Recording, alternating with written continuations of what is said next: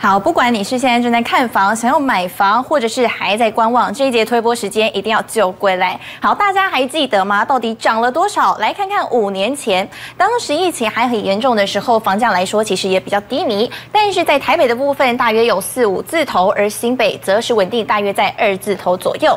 至于在桃台园桃园以南的，大约是一字头，像是新竹、台中、台南还有高雄。但是经过这五年，除了疫情稳定之外，经济相对来说也变得比较稳定一点。再加上台商愿意回流，也促进了整体的经济发展。所以，这样是在今年二零二四以实价登录来说，台北也从原本的四五字头，如今来到了六字头。而桃园以南的这些地方呢，大约已经从原本的一字头涨到了二字头。好，除了桃园，大家知道桃园区还有中立区，因为生活交通都比较方便，所以很热络。但是至于在于台中、还有台南跟高雄，其实二字头以上的交易量大约已经超过了百分之四十趴以上了，而且后续还是可能持续的在上涨的部分。而至于在新竹，大家都知道，因为有科技园区，而且新竹。的这些受众其实比较不一样的地方是，他们的购物族很多啊，都是科技新贵或者是比较高收入的一些。这一些人员，所以对他们来说，买房的压力也比较低，所以不只是二字头，或是三字头、四字头，都是可能会在新竹发生。那至于新北的部分，也从原本的二字头涨到了三到四字头。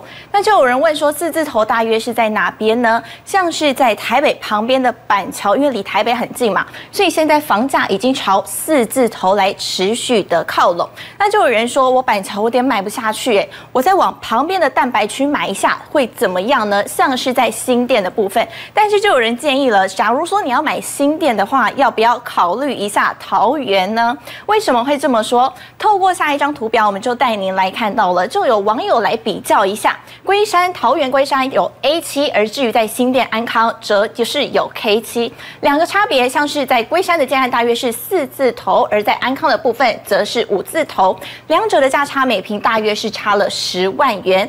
特色的部分，像是我们来看到龟山的 A 七，它因为腹地大，开发很有潜力，机捷还有直接到台北，所以交通来说也比较方便。但是假如说你要开车的话，哎，可能会比较久一点，大约要五十分钟左右。而至于在新店安坑的部分呢，它的特色就是它有新北市的门牌，跟桃园比较不一样。但至于在交通的地方，它有轻轨。假如说你有开车的话，相对来说会比较方便一点，因为开车的时间大约是四十几分钟。好，整体听起来是有利也有弊。那专家怎么看呢？专家说，其实两者啊不能这样子比啊，因为 A 七其实到台北比较方便，可以吸引双北的首购族。而至于在安坑的 K 七，它是高速公路为主的，所以对于你有车子的来说，会当然会比较方便。而后续也不排除这个桃园龟山的 A 七房价会持续的看涨，甚至把。安坑给 PK 掉了。好，但是假如说你要买房的话，很多人就会说，我到底要买预售屋还是要买成屋？好，就有女网友她跟你有一样的烦恼哦。她说她的要买预售屋的时候，大约是七百万元，但是建完之后转售却可以高达千万，甚至整个价格超过了两倍，怎么会有这种价差呢？好，专家就来帮大家一起来解答这。价差到底怎么发生？主要原因就是因为房价整体上涨了，而且买预售屋有很多的风险，像是你不知道屋况状况会怎么样，那后续会不会变成烂尾楼，能不能顺利的交屋，都是有一定的风险。很多的状况都是盖好才知道，因此价格也可能较低。以上就是这一节的推播话题，再把时间交还给主播喽。好的，没错呢。其实随着整个 AI 的浪潮逐步的兴起起来，很多的高阶晶片也变成是需求量是越来越大。所以呢，现在呢这些高阶晶片锁定的对象当然就是台积电。台积电也积极在扩厂，而这些积极扩厂呢，包括了三纳米厂、二纳米厂选定的都在南台湾。也因此呢，现在其实包括了高雄，还有包括台南，很多的房价是逐步的都在攀升。现在被让人家说最扯、最扯、最夸张的在哪里？最新的根据实价登录，它的地点就在台南。我们进一步带大家来看哦，根据实价登录最新的一个情况，按照台南呢，在整个新市区它的一个新建案，这两个案子呢，它现在呢，他们交易的平数都在四十二平、四十五平之间，而总价都约莫是在两千万左右，但是单平的价格已经来到了五十万。这个五十万一出来之后，让当地民众简直是说不敢相信。为什么呢？因为呢，按照其实南科周围。以前啦，在台积电还没进驻的时候，大概一平都只有十几万、二十万。现在呢，南科周围的预售案大概都落在于三十万，一直到四十万之间。所以呢，这样的一个价格可以说是哎五字头有了之后呢，现在包括了台南代销工会的理事长他就说了，这个呢可以看起来这个个案它的指标意味是非常浓厚，未来呢房价恐怕还会持续的突破天际线。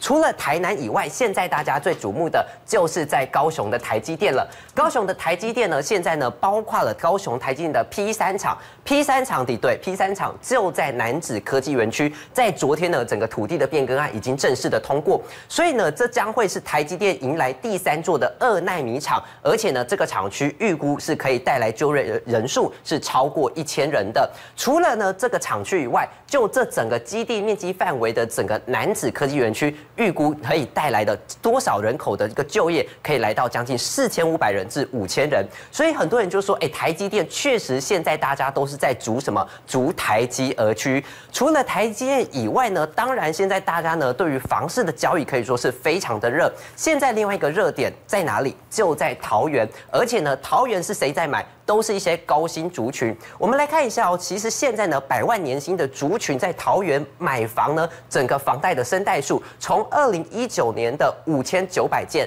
到现在呢，二零二三年最新的统计出来，来到了九千五百件。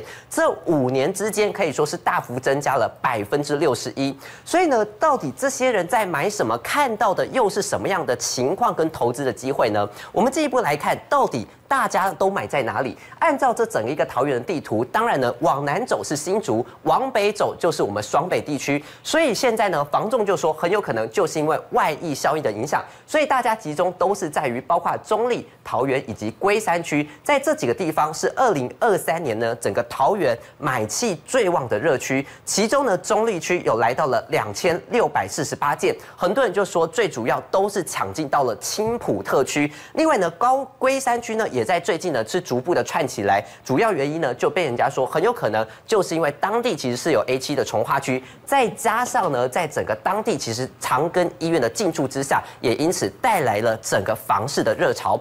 除此之外，再来中台湾，中台湾中科以外，现在很多人就说，哎，中科尤其七期，现在要打造的是一个所谓的细股生活圈。所以中台湾呢，最近的房市交易出现什么呢？出现的就是整个一个价格已经来到七十万以上。而且呢，七十万你只能买哪里？买的还是一个低楼层。最新的交易案呢，在房价在二楼的部分单平是来到七十五万。另外呢，在同栋的高楼层单平已经飙破了九字头。现在进一步呢，当然房仲就说了，很有可能呢破百万，在未来是势在必行的。而为什么这个交易会这么夯？最主要就是因为当地是拥有明星的学区，再加上其实整个七股呃整个七旗地区呢，包括了秋红谷，包括了一些百货都是林立，因此呢。生活机能可以说是非常的完善，再加上紧邻的就是中科，也因此很多工程师就把七旗选择是新的买房标的。以上最新推播。